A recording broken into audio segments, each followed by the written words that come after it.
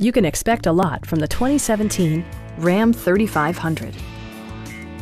Top features include power windows, one-touch window functionality, a rear step bumper, turn signal indicator mirrors, remote keyless entry, a trailer hitch, and air conditioning.